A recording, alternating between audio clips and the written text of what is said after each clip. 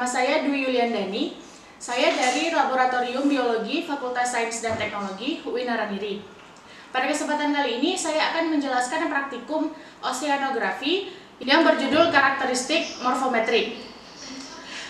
Morfometrik yaitu suatu pengukuran bentuk luar tubuh yang dijadikan sebagai dasar pembandingan ukuran ikan seperti panjang seperti panjang, lebar, panjang standar, tinggi badan, dan lainnya.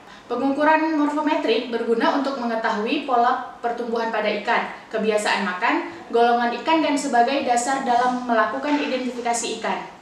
Selain itu, morfometrik juga digunakan untuk mengukur ciri-ciri khusus, hubungan variasi dalam taksonomi populasi pada ikan. Morfometrik memiliki manfaat untuk menggambarkan secara lebih akurat indeks panjang tubuh lebar tubuh, dan tinggi tubuh yang mampu mengidentifikasi perbedaan antar spesies.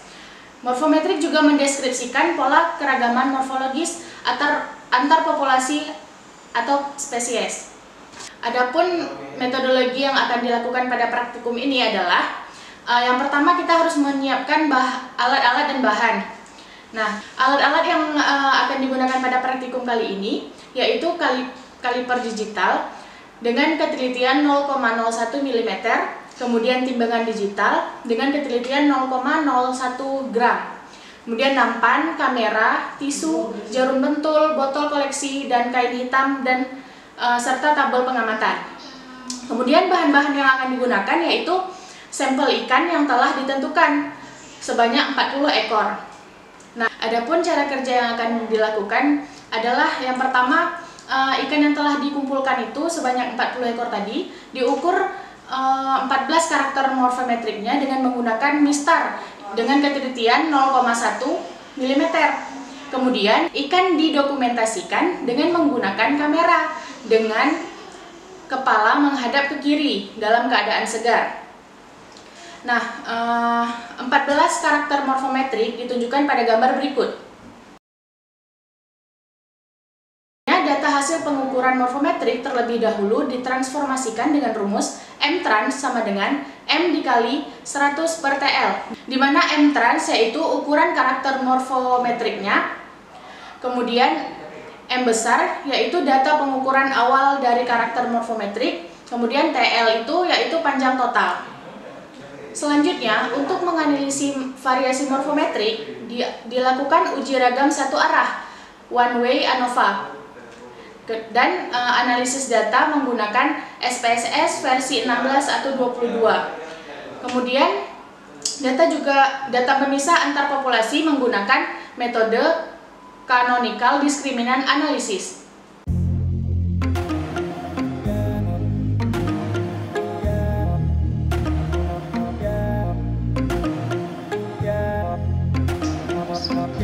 Berikut karakter morfologis yang diukur pada praktikum karakter morfometrik pada ikan.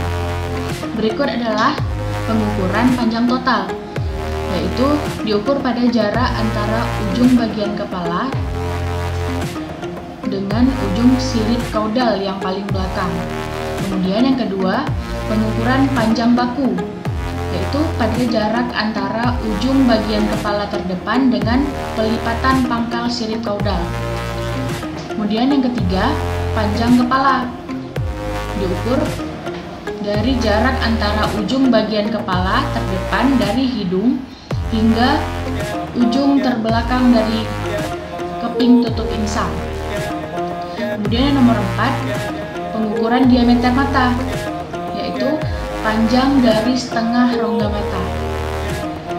Kemudian panjang moncong, yaitu diukur dari jarak awal mulut sampai ujung mulut.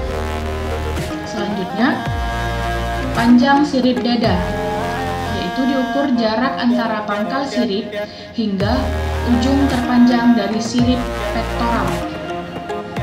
Kemudian, panjang sirip perut, yaitu diukur dari jarak antara pangkal sirip hingga ujung terpanjang dari sirip ventral. Selanjutnya, panjang sirip anal diukur dari jarak antara pangkal sirip hingga ujung terpanjang dari sirip anal.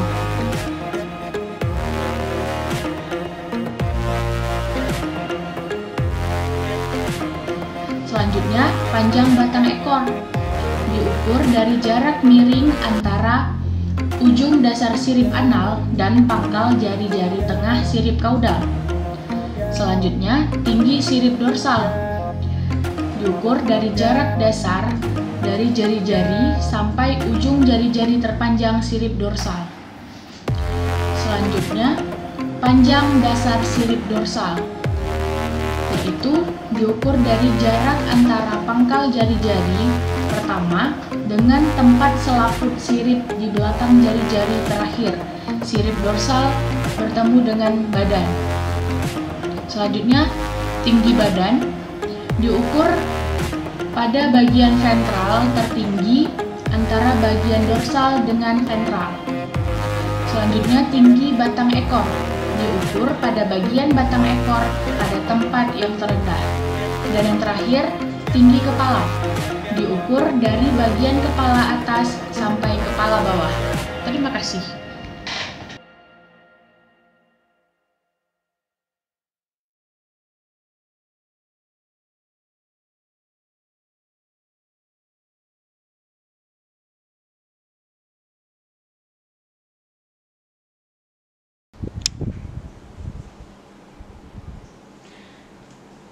Nah, yang pertama, setelah kita buka SPSS, akan tampil seperti hmm, akan muncul tampilan seperti ini. Ini sebenarnya masih kosong, ini karena udah diisi. Nah, yang pertama kita uh, klik variable view ini. Nah, akan muncul seperti ini. Nah, pada kolom name kita tulis pada garis per baris pertama itu ada jenis. Nah, kemudian pada baris kedua TL, SL, HD sampai HD.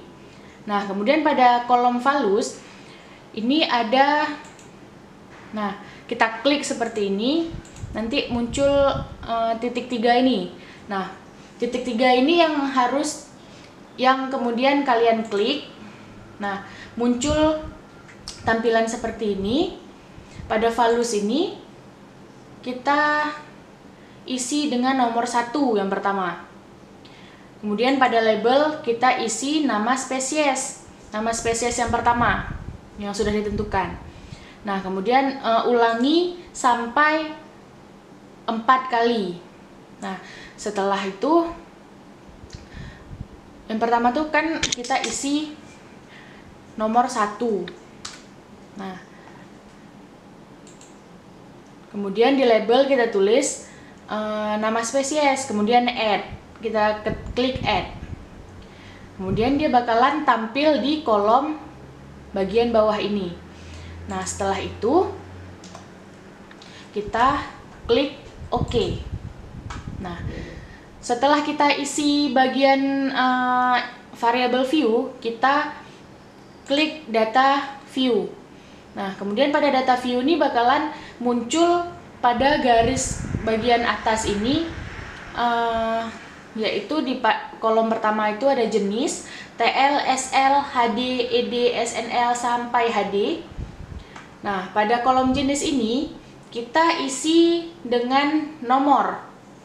Nomor pada baris pertama itu nomor 1 sampai uh, ke baris ke-6 itu nomor satu semua sampai ke baris 6 kemudian pada baris ke-7 nomor 2 sampai baris ke-12 kenapa seperti itu? karena kita menggunakan uh, satu jenis spesies atau jenis jenis ikan itu sebanyak 6 ekor 6 pengulangan istilahnya untuk uh, melakukan pengukuran morfometrik yang uh, dalam judul ini.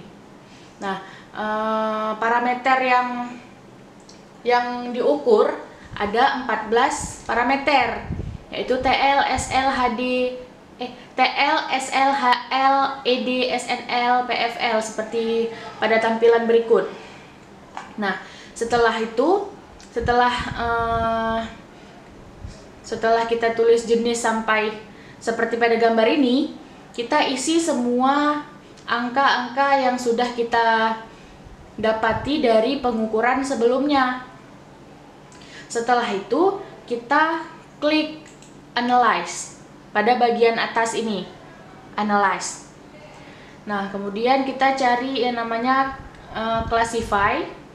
Kemudian pada classify ini kita klik diskriminan. Diskriminan. Nah, akan muncul uh, tampilan seperti ini. Kita klik pada jenis ini, kita masukkan dengan kita tekan tombol panah ini, masukkan ke grouping variabel. Nah, setelah seperti ini, de, uh, tombol define range ini kan bakalan aktif. Kemudian kita klik. Nah, di sini kita tulis minimumnya 0, maksimumnya 4. Kemudian klik continue. Nah, kemudian TL, SL, HD semuanya kita masukkan ke kolom independen. Semuanya.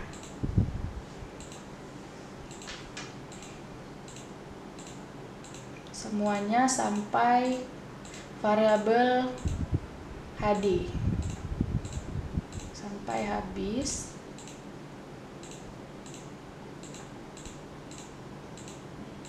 Nah, setelah seperti ini, kita klik tombol yang pertama statistik ini. Nah, kemudian kan e, muncul tampilan seperti ini.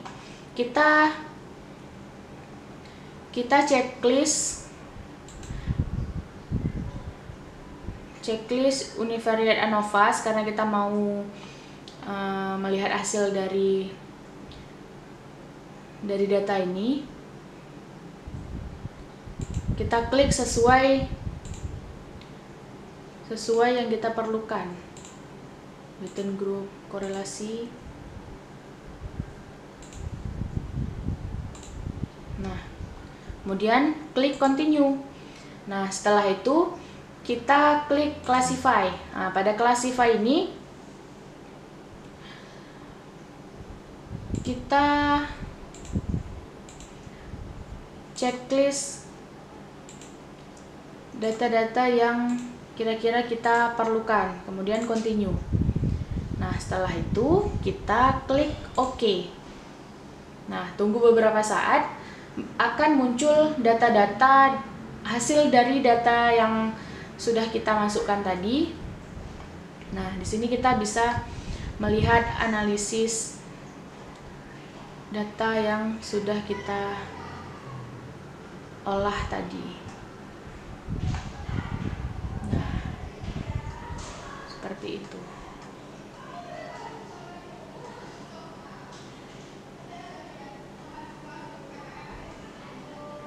Di sini kita bisa melihat uh, diagram di mana uh,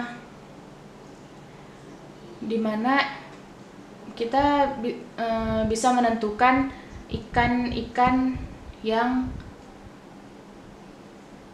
memiliki kekerabatan yang dekat. Kita juga bisa melihat uh, variabel apa saja yang yang berbeda antar setiap jenisnya. Nah, seperti itu. Sekian, terima kasih. Assalamualaikum warahmatullahi wabarakatuh.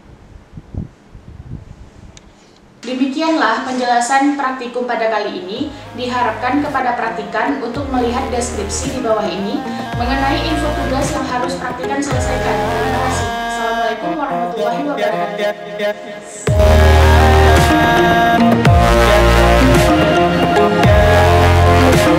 yeah, yeah, yeah, yeah, yeah, yeah.